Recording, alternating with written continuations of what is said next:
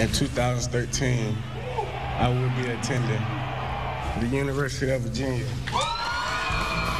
A big day for University of Virginia football coach Mike London, who lands his first five-star recruit running back.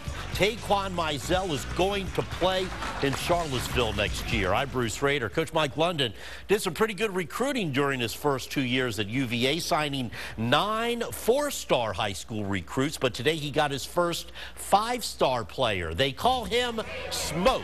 Taquan Mizzell, the fourth player from Bayside High School to want to play for London at UVA recently. Taquan is considered the 19th best high school player in America by rivals and listed as the third best back in the country. He had 20 scholarship offers, narrowed his choices to North Carolina, West Virginia, and UVA, and told Ali Lucia today it all came down to Coach London.